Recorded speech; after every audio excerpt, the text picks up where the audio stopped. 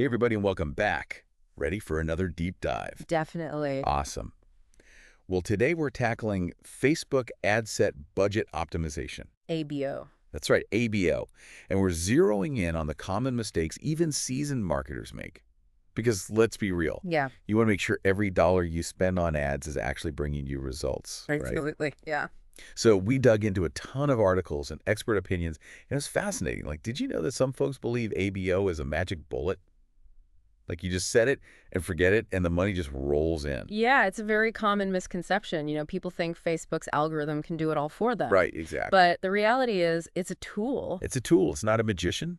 Exactly. And even with the best tools, you got to know how to use them right. Absolutely. So let's get to it. Mistake number one, not keeping a close eye on your campaigns. Why is regular monitoring so important here? You know, besides the obvious, you want to know what's working and what's not thing? Well, think of it this way. With ABO, you're essentially giving Facebook a budget and saying, okay, distribute this across my ad sets as you see fit.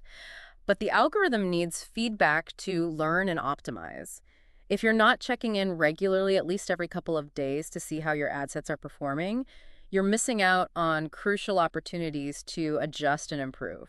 So it's kind of like, you know, giving someone directions, but not actually checking if they're going the right way. Exactly. You wouldn't just give someone directions and then blindly assume they got to the destination right. You'd probably check in, make sure they're on the right track, and offer course correction if needed. Same goes for ABO. I like that. So it's all about staying in the driver's seat.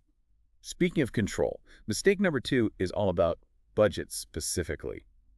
Inflexible budgets. Why is this such a problem? Well, one of the main benefits of ABO is its ability to dynamically allocate your budget to the ad sets that are performing the best. Right, so the ones that are actually getting results? Exactly. But if you have a rigid budget set for each ad set, you're essentially limiting that flexibility.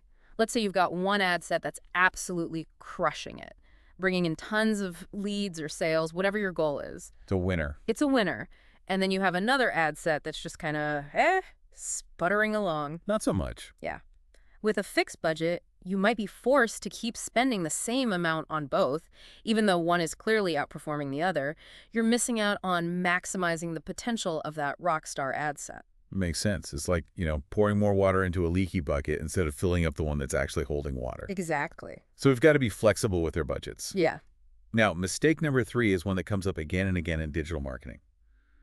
Poor audience segmentation. Yeah. Why is this still such a common pitfall, even for experienced advertisers? Because it's easy to get caught up in the excitement of reaching as many people as possible and forget that relevance is key.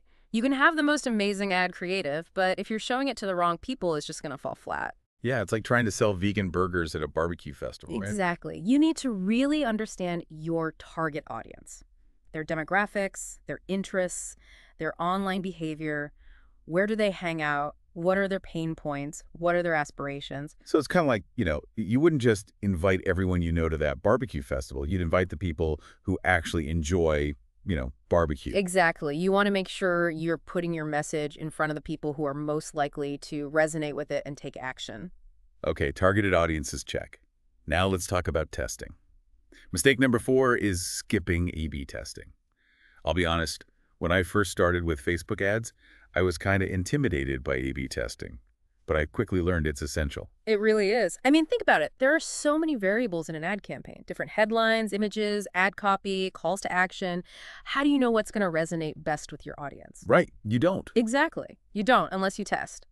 A B testing allows you to systematically compare different variations of your ads and see which ones perform the best. So you can actually see what's working, not just guess. Exactly. It takes the guesswork out of it. Mm-hmm. And it's not just a one time thing. You should be constantly testing and refining your ads to improve their performance over time. It's like, you know, a scientist in the lab constantly experimenting to find the perfect formula. Yeah, that's a great analogy. Okay, so we've got targeted audiences, we're A-B testing. Yeah. But sometimes we can be a little too cautious with our budgets. Mistake number five is setting budgets too low. How does this actually backfire? It all comes down to the Facebook algorithm. Remember, it needs data to learn and optimize effectively. If you give it a very small budget to work with, It's going to have a limited amount of data to go on. So it's like trying to teach someone a new skill, but only giving them a few minutes to practice. Exactly. You wouldn't expect them to master it, right? Yeah. Same with the algorithm. It needs a decent amount of data to understand who your ideal customers are, what makes them click, what makes them convert. Give it some room to breathe. Exactly. Start with a budget that allows you to reach a significant portion of your target audience. Makes sense. Now, mistake number six is all about those eye-catching elements. Hmm. Poor quality ad creatives. What are some of the biggest blunders you see people making here? Oh, so many. But one of the most common is using blurry or irrelevant images. Right. Your image is the first thing people see. It has to grab their attention. Absolutely. It's the hook. You want something visually appealing, high quality, and relevant to your message and target audience. And then the copy is just as important. It needs to be clear, concise, and compelling. And don't forget, a strong call to action. Yes. Tell people exactly what you want them to do after seeing your ad. Click here, learn more, shop now. Make it easy for them. Exactly. Okay, our campaign's up and running. We're getting data. But now what? Mistake number seven. Ignoring key performance indicators, or KPIs. Whew, I used to get so lost in all the data. How can we make sense of it all without getting overwhelmed? KPIs are your compass. They tell you if you're on the right track and if you need to make adjustments. Don't get bogged down in every single metric. Focus on the ones that are most relevant to your goals. So, like, if your goal is to get leads, focus on cost per lead. Exactly. Or if your goal is to drive sales, look at your return on ad spend, your ROAS. So pick your KPIs wisely. Yes. And then, this is crucial, actually use that data to make informed decisions about your campaigns. If your cost per lead is too high, maybe you need to adjust your targeting or your bidding strategy. So KPIs are not just numbers on a screen, they're actually telling you what to do. Exactly. They're your roadmap to success. Okay, we're tracking the right KPIs. But now we get impatient. Mistake number eight, giving up too soon. How long does it actually take for ABO to really work its magic? ABO is not an instant gratification kind of thing. It takes time for the algorithm to learn and optimize. Think of it like a fine wine. It needs time to breathe, to develop its full flavor. Don't pull the plug on your campaigns too early. Give them at least a week or two, sometimes even longer, depending on your goals and budget. So patience is a virtue here. Absolutely. Trust the process and give the algorithm time to work its magic. Okay, last but not least, let's be real about the workload. Mistake number nine, underestimating the workload. Why is ABO a bit more hands-on than some other campaign types?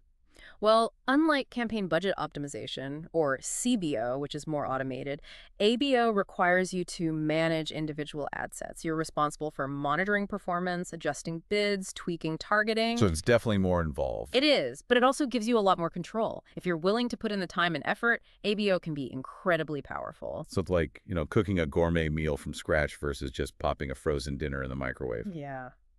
More work, but potentially much more rewarding.